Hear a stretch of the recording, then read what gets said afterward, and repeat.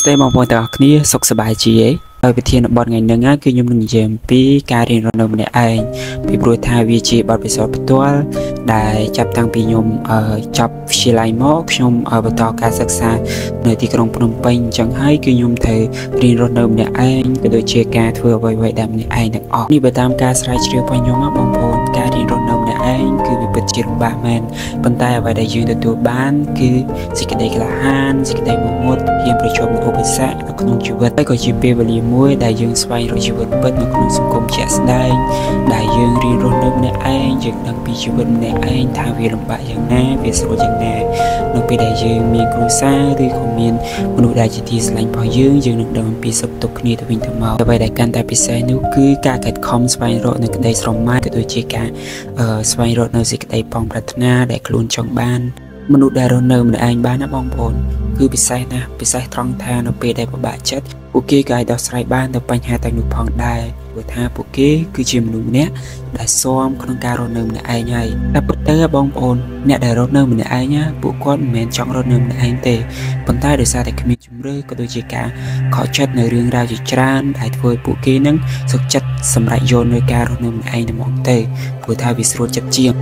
ពួកគេបងប្អូនគឺជាមនុស្សម្នាក់ដែលមិនទុកចិត្តនរណាទាំងអស់ ក្រៅពីឪពុកម្ដាយសាច់ញាតិឬក៏មិត្តភ័ក្តិដែលជិតស្និទ្ធធ្វើអ្វីតែតែមានការប្រុងប្រយ័ត្នជានិច្ចមិនថារបស់នោះតូចរបស់នោះធំទេគឺពួកគេតែងតែស្រឡាញ់ជានិច្ចពិសេសមនុស្សដែលខ្លួនស្រឡាញ់តែម្ដងពួកគេគឺអត់ចង់ឲ្យណាម្នាក់បែកឬក៏ មានអារម្មណ៍មួយថាសោកសៅរវាងគ្នានឹងគ្នានោះទេពីព្រោះថាពួកគេយល់អារម្មណ៍ពីការរស់នៅម្នាក់ឯងវាលំបាកជាងណាស់បើសិនជាពួកគេមានជំរឿក៏ដូចជាការទុកចិត្តនៅនរណាម្នាក់ឯងពិសេសគឺជាមនុស្សដែលខ្លួនស្រឡាញ់ទុកចិត្តតាំងពីតូចតូចឬក៏គូសង្សារអីចឹងទៅគឺពួកគេនឹងរស់នៅជាមួយគ្នាហើយអន្តពេលខ្លះពួកគេជួបនៅរឿងរ៉ាវជាច្រើនដែលយើងអត់បានដឹងចឹងទេពួកគេក៏សម្រេចចិត្តថាការរស់នៅម្នាក់ឯងវាគឺជាជំរឿមួយដែលល្អ នេះបើតាមចិត្តវិទ្យា3ចំណុចដែលបង្ហាញថាការរស់នៅម្នាក់ឯងធ្វើឲ្យអ្នករំពឹងអ្នកសប្បាយចិត្តនិងរីករាយពិសេសគឺក្លាហានតែម្ដងនេះបើតាមភាសាលោកស្រី Bella de Peloche គាត់បាននិយាយថាការរស់នៅម្នាក់ឯងហ្នឹងគឺមានអត្ថប្រយោជន៍ចំនួន3ទី1គឺការចូលរួមជាមួយសង្គមទី2ជីវិតទី3នឹងការរស់នៅទី1ការចូលរួមជាមួយសង្គមតែការចូលរួមជាមួយសង្គមហ្នឹងគឺយើងចូលរួម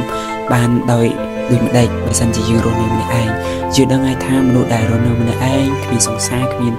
អ្វីដែលគេហៅថាជាការទេដៃទីជើងណាបងប្អូនអញ្ចឹងគឺយើងអាចទៅណាទៅណីគឺយើងអាចចូលរួមការស្ម័គ្រចិត្តជាមួយមន្ទីរពេទ្យឬក៏ការបរិច្ចាគឈាមជាដើមអីចឹងទៅពួកជីវិតវិញណាបងប្អូន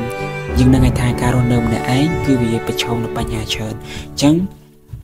បញ្ហាទាំងអស់នោះគឺជាមេរៀនជីវិតមួយដែលបង្ហាញឲ្យពួកគេមានភាពរឹងមាំជំនះរាល់ឧបសគ្គនៅក្នុងជីវិតពិសេសស្វែងរកនៅបទពិសោធន៍ថ្មីតែម្ដងព្រោះថាជីវិតនៅម្នាក់ឯងវាស្រួលវាស្រួលរបស់ពិសោធន៍មែនតើចង់ទៅណាក៏បានដែរប៉ុន្តែនៅពេលដែលមានគ្រួសារឬក៏សង្សារបងប្អូនទៅណាក៏ត្រូវទៅជាមួយគ្នាដែរហើយចំពោះពេលវេលាវិញបងប្អូនគឺពួកគេមានឱកាសច្រើនជាងអ្នកដែលមានគ្រួសារឬក៏អ្នកដែលមានសង្សារពីព្រោះថា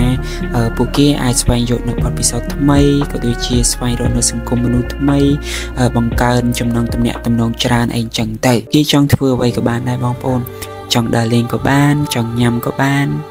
ចង់ដេកក៏បានចុងក្រោយបងប្អូនចឹងបានថាការរស់នៅម្នាក់ឯងវាក៏មានគេហៅថានៅវិបត្តិក៏ច្រើនក៏ដូចជាគុណសម្បត្តិក៏ច្រើន វាម្យ៉ាងម្នាក់ឯងបងប្អូនអ្នកដែលរស់នៅម្នាក់ឯងគឺតែងតែជួបនៅបញ្ហាប៉ុន្តែរាល់បញ្ហាទាំងអស់នោះគឺបានបង្រៀនយើងនៅជីវិតមួយដែលរឹងមាំតស៊ូជំនះរាល់ឧបសគ្គមិនថាបញ្ហាការសិក្សា បញ្ហាគ្រួសារបញ្ហាជីវិតសុខភាពហើយត្រូវដោះស្រាយវាញញឹមថ្មីនៅក្នុងជីវិតថ្មីរបស់យើងទើបយើងអាចសម្រេចបាននូវសេចក្តីប្រាថ្នាដែលយើងចង់បាន ហើយខ្ញុំចង់បញ្ជាក់ថាការរស់នៅម្នាក់ឯងគឺមិនមែនជាជំរឿនល្អណាស់ទេពីព្រោះថាបើសិនជាយើងរស់នៅម្នាក់ឯងពេលដែលឈឺពេលដែលលំបាកពេលដែលដាច់លុយពិសេសគឺពេលយប់តាមដងគឺខ្លាចខ្មោចតែខ្ញុំក៏ប្រខំបងប្អូនទាំងអស់គ្នាដែរបើសិនជាបងប្អូនគិតថាជំរឿនមួយណាដែលល្អបងប្អូនសំស្រោតបងប្អូនទៅទៅ